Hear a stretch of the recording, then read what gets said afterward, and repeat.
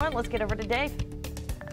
All right, well, we'll continue to watch very closely here. The latest with Eta as it continues to get a little bit organized here on into the southern part of the Gulf of Mexico, right near the Yucatan Channel. You can see here a big flare up of thunderstorms, but notice it's not moving. Winds are at 50 miles per hour. It is expected to get a little stronger as it sits over the loop current or the warm water that kind of moves up from the Caribbean into the Gulf of Mexico and then eventually over toward the Florida Straits and becomes the Gulf Stream. But you can see a big flare up of thunderstorms here. It does have some decent outflow. It's trying to get better organized, even though it's battling some dry air, but not much wind shear. You can see expected to get around 70 mile per hour tropical storm and then gets way on into the northern part of the Gulf here, but weakening as it does. You can see from 45, 40, 35 here to a tropical depression just off the Pensacola, Florida area. But notice we're in the cone again. Eighth time. Yes, I know. I'm sick and tired of it too, but it's still hurricane season through all the way to the end of this month, and I think it probably will go longer than that the way things have been so far this season. But there you see here the track does show you that uh, winds get up to about 70 miles per hour Wednesday into Thursday before weakening here in the northern part of the Gulf of Mexico. Now, the forecast models look like this.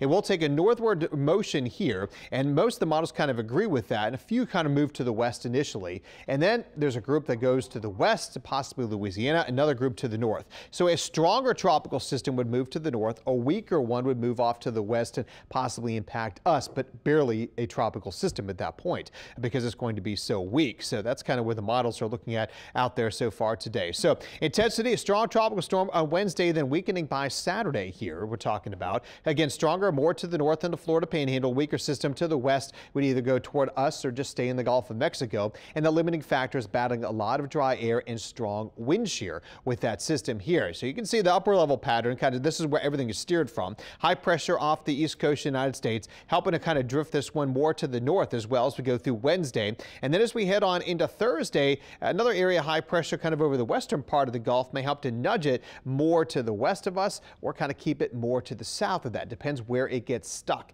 If it's a weaker system, that's why it can take more of that westward track out there as we head into Friday in the upcoming weekend. So this is the European model, the one kind of closely matching what the Hurricane Center is thinking. Through Wednesday, again, still pretty organized storm here, but then it moves to the north again, just kind of off to our southeast here and then by Friday afternoon, and then as we headed to the weekend, kind of getting absorbed by that front you see sweeping through there with the landfall up there not too far away from the Alabama-Florida border. So uh, that's kind of what the Hurricane Center is thinking right now. We'll see if that does play through as we go into the next couple of days. But you can see where it's located here. Put the winds at the mid-levels of the atmosphere as well too. But notice all this red, that is dry air out there. We have a trough of low pressure. The initial one coming through Wednesday tomorrow for us, but there's another one that'll come behind that. But it's got to battle all of that as it moves off to the north. A little upper level low kind of spinning behind. It's going to be weakening, and that's what's helping to keep it weak, at least at this point.